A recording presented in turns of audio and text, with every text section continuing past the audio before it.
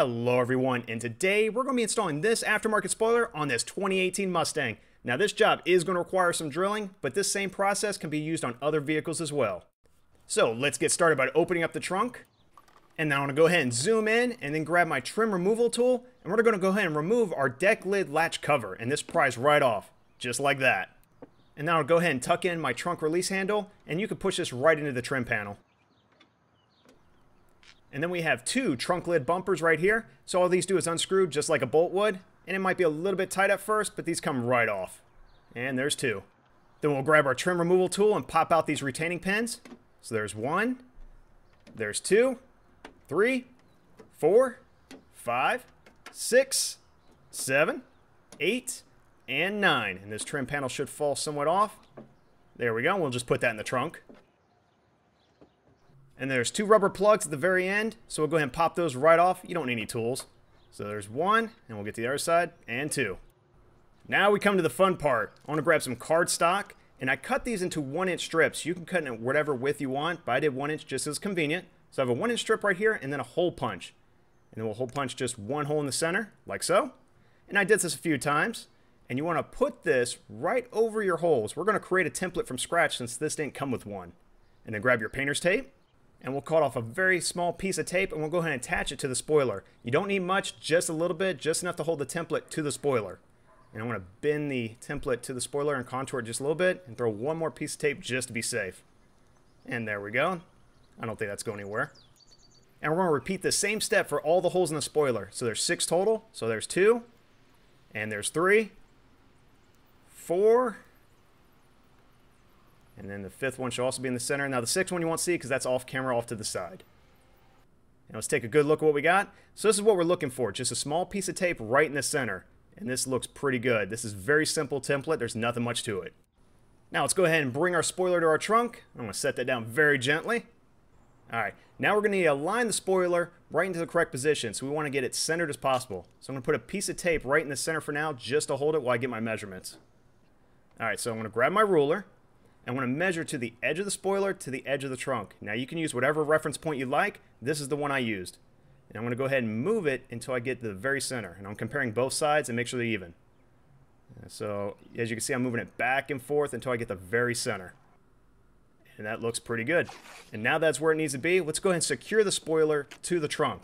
And all you got to do is take some painter's tape and put an excessive amount of tape right on your template. And of course, it does help to have a second person holding everything down.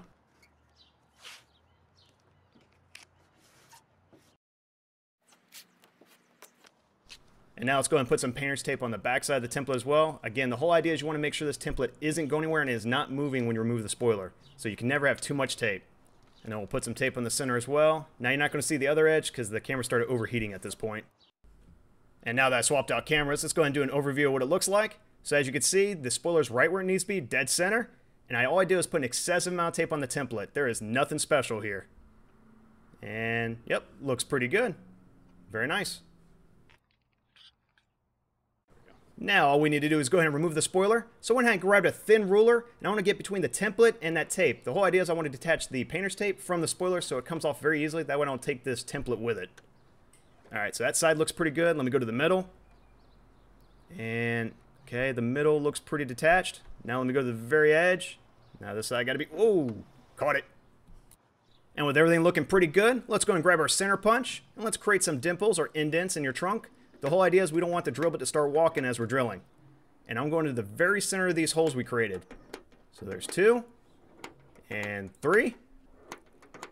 There's four, five, last one, number six. Now let's go ahead and grab our drill and a 1 8 drill bit, and we're going to drill out six pilot holes. The whole idea is you want to get these holes start off small, and then we'll step it up with a stepper bit. So there's two, and three, there's four. Five. And last one, six. Now that we're done with the template, let's go and remove it. So I'm going to lift it straight up so that way the metal shavings doesn't scratch against the paint. And let's see if we can get the center one here. Very nice. And the last one third. And there's the last of it. There we go. And let me go ahead and grab a vacuum and I'm going to clean up these metal shavings just because I can. I'm not going to scrape against the trunk. I'm just going to, going to glide right over it. All right, we're about to halfway point. So I'm to grab my stepper bit, and I'm to grab a marker, and let's see if I can focus right in. So we're going to want 9 30 seconds. That's the hole we want to drill. So I'm to mark right above it, which is 5 16ths. The whole idea is this mark is to tell me when to stop drilling. So we're shooting for 9 30 seconds, and we marked 5 16ths. And that looks pretty good. So let's go ahead and start drilling. And I have a vacuum going just because it's going to vacuum up those metal shavings right as we're drilling into it. So there's one. And let's get our second one. There's two. Let's go to the middle. And three, not too bad. Let's go to four. Very nice. Five. That went really quick. And last one, six. Just that easy. And after drilling, we do have a few burrs in these holes, so let's grab a deburring tool, and that way we can remove all these sharp edges right before painting. And that looks pretty good. There's two. And then we'll go to number three, if the camera will focus in. And there's four. And number five, looked like I had a nice little burr there. And number six. Now let's go ahead and open up the trunk and work away on the inside. Now this one is double layered, so we're gonna have to grab our center punch and then our 1 8 drill bit and then our stepper bit, and we're gonna create a bigger hole just so we can get our screw through and tighten up that spoiler to our trunk. Now some vehicles may vary, but for the S550 Mustang, you will have to do this. And then I'll again move it up to my stepper bit. Now this doesn't need a specific size, it's just big enough so you can get your screw through. You can make it as big as 3 quarters of an inch up to 1 inch. If you look at the hole right above it to the top left, it's going to be very similar to that. And it looks like that hole's big enough, so let's grab my deburring tool and let's clean up all these sharp edges.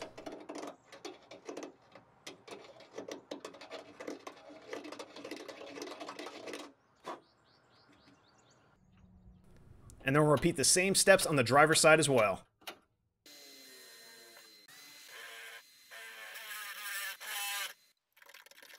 And with the drilling complete, let's go and grab some rubbing alcohol and a microfiber cloth, and let's clean off the trunk and every area that has exposed metal that we're going to apply touch-up paint to.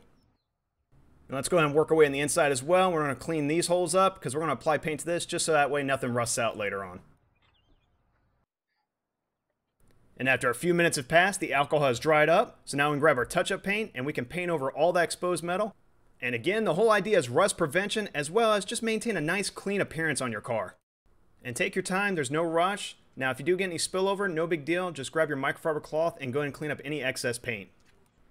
So there's five and six. Now we're going to open up the trunk and do the ones on the inside. Now it's going to require a little bit more paint because there's a little bit more exposed metal. And it's starting to look pretty good. Sorry that my hand's in the way. Now work our way to the passenger side and do the same thing.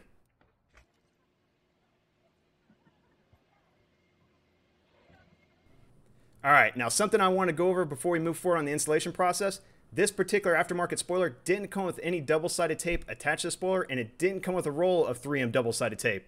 That's perfectly fine.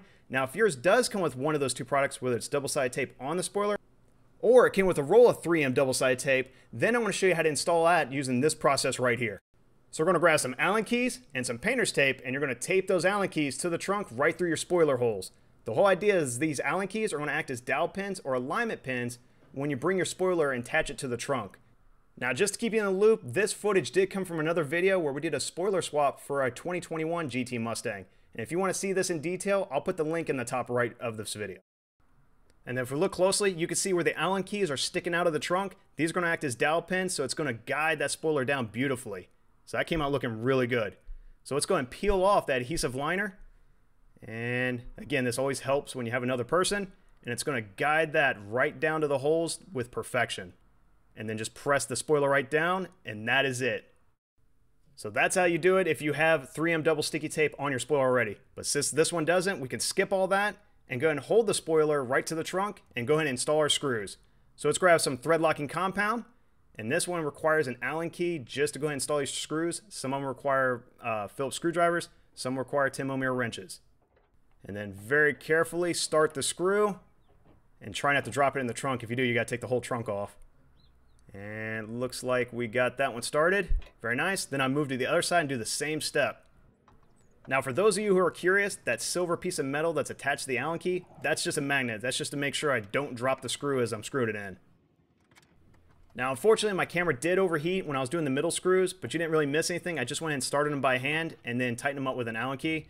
Now I'm taking a quarter inch socket wrench. Now I'm going to go ahead and tighten these up so they're nice and snug. And you want to go over each one of them at least twice just to make sure you got all of them nice and snug evenly. And now we start putting things back together. So let's grab our rubber plugs and let's go and push those right in. Very nice. So now we can install our trim panel. So I'm going to feed the trunk release handle through the panel and line everything up. And then go ahead and press in all nine retaining pins. So six, seven, eight, nine, and now I'll go and put that handle right back in place. Beautiful. So now we can go ahead and screw in our trunk lid bumpers, and these screw in just as easy as they came out until they're nice and snug. So there's one, and there's two. And then go ahead and press back on your deck lid latch cover. Very nice. And of course, no job is done until you clean up all your metal debris. So grab your shop vac, and let's go and clean up all those metal shavings that's all over the trunk. Now let's go and close her up, see how it looks. That came out looking perfect. That looks beautiful.